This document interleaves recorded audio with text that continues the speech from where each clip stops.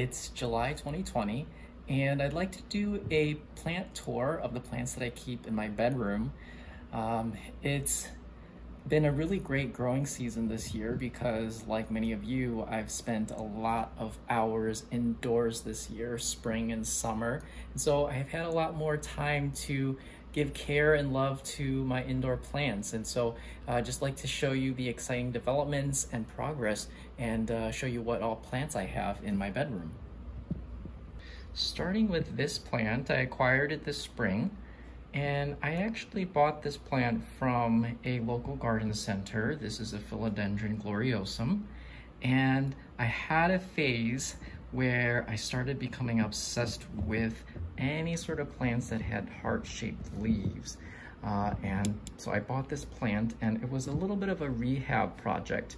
The lady who sold me the plant, she had it under a grow light and it was in the basement and it wasn't even in the main part of the store because it had looked really sickly when she had got it from uh, the grower and so it was looking really bad and so this was the original leaf that was on the plant and you can see that there's some burn marks um, and some of damage to the leaves down here but otherwise you know, was looking okay. It also had this leaf as well. This was the second leaf that came up. And again, it came with these burn marks that you can see as well. So what I did was I repotted the plant and I created my own soil mixture and I made sure that this runner was above the soil line because when I first got it, it was buried under there and that was what I researched, a surefire way of killing the plant. So I made sure to bury the roots that were coming from this uh, node over here, this runner, but to keep the runner above the ground so that it can kind of creep uh, on top of the soil and continue sending new growth.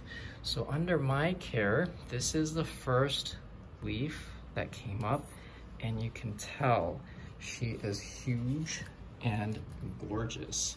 There's no burn marks. It's very smooth and velvety. It's emerald green and it's got a perfect little heart shape. And a couple of weeks ago, a little spike started emerging and this is going to unfurl into a brand new leaf. So I'm really excited about that. This soil mixture, by the way, is an extremely loose mixture. You can see that it doesn't clump whatsoever.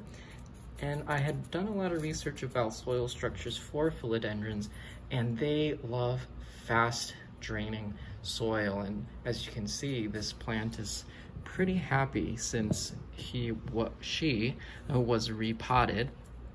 So I have a very loose mixture of orchid bark that I hand crushed and then also uh, tore up little pieces of sphagnum moss. There's tons of perlite in here. That's a little bit of an all-purpose indoor potting mix as well.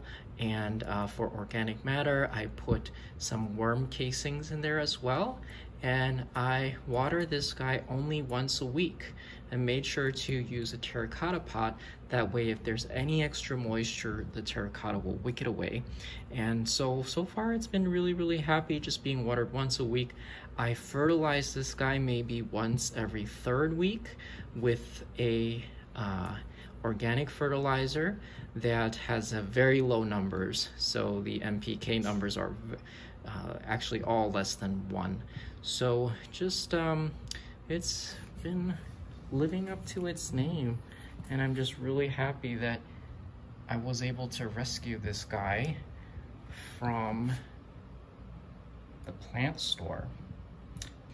This plant I got at the same time. This is my Rhaphidophora. And as you can see, it's got this another cane down here with new growth coming out.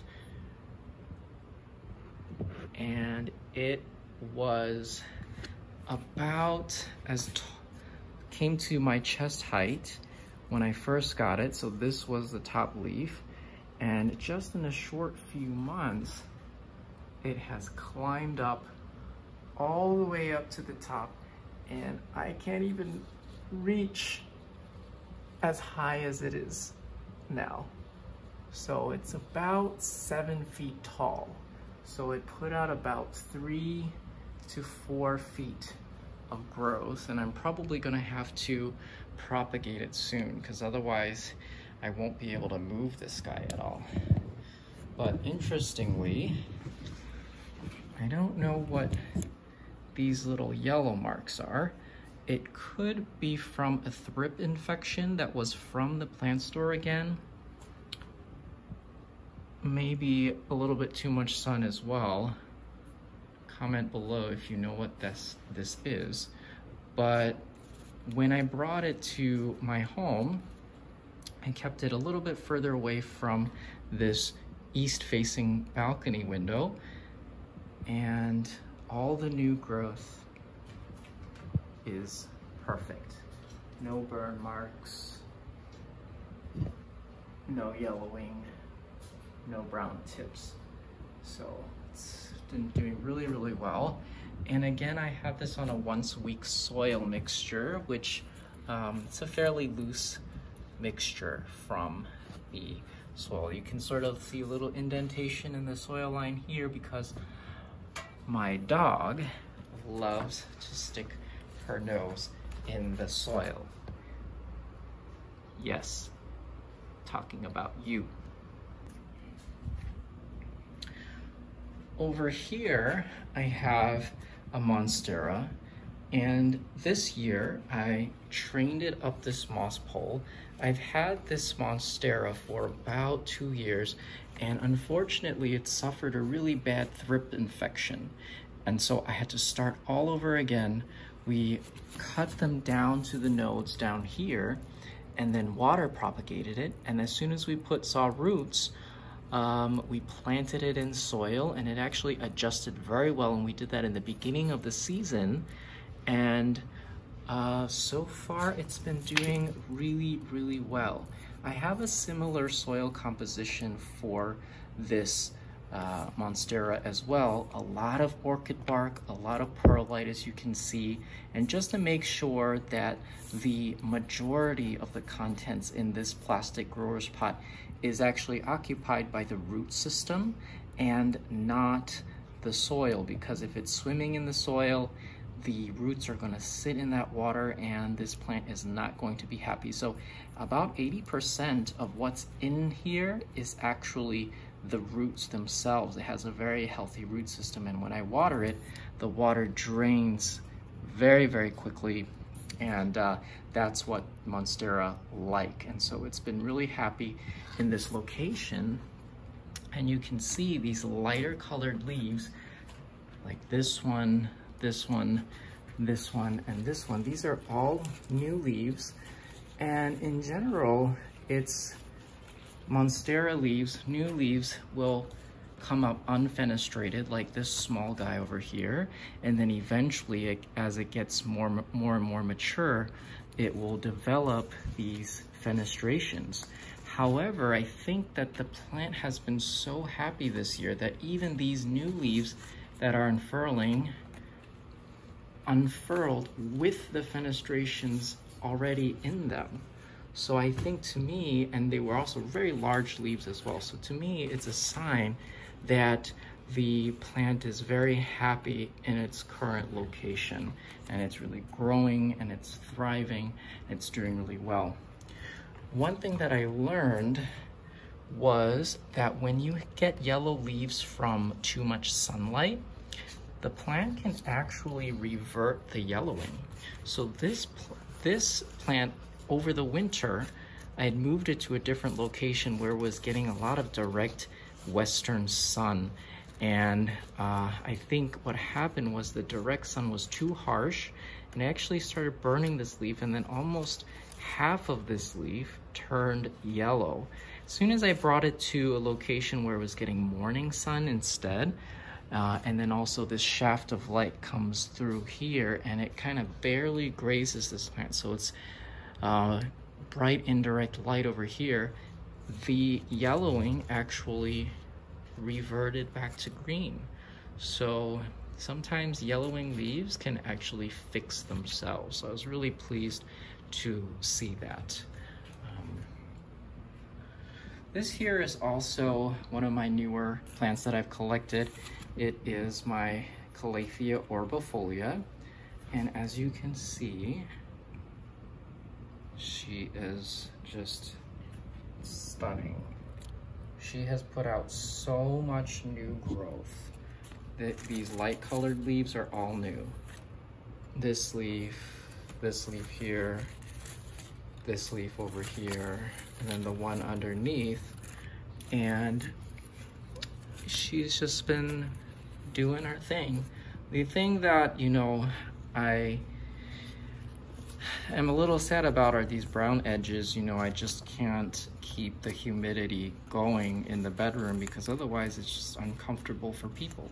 Ideally, it would do well with humidity 55% and up, but you know, I think what makes me feel better is that when I bought this plant from the store, it actually already came with these brown edges and this store has five humidifiers running at the same time and it's probably 70% humidity. So I don't feel so bad having these crispy edges because even in a perfect environment like a garden center, greenhouse situation, they still have brown edges. So I'm just going to accept this plant for what it is it's going to have some brown, but that's okay because, I mean, look at these patterns and these round leaves. They're just so cool looking. And the soil, I have something interesting going on with the soil. Underneath the two thirds, I have a very loose straining mixture similar to my philodendron mix. So with the orchid bark, the um, sphagnum moss and the perlite mixture with uh, some cutting that into some regular garden soil. On the top layer here, I just have some regular uh, indoor potting soil to just kind of cover it like a blanket. So that way the feet stay dry, but then uh, it doesn't lose too much humidity because of all the plants. This one is probably the hardest for me to figure out its watering. It will tell you when it's thirsty because the leaves will start drooping down, but um, I just wanna make sure that I'm not over or under watering it. So just making sure that the feet are dry and then the top doesn't lose too much moisture. So there's two different kinds of soil uh, actually layers in within the pot here, which I actually hand painted here. So this is a little design I uh, painted myself. So it was a little fun COVID quarantine project. Let me know if you have any questions about how I care about my plants in the comments below. If you have anything to add or any tips or tricks, or if you have these same plants as well, I'll be happy to talk to any of you guys just to see if uh, we can share some knowledge. Thanks for watching.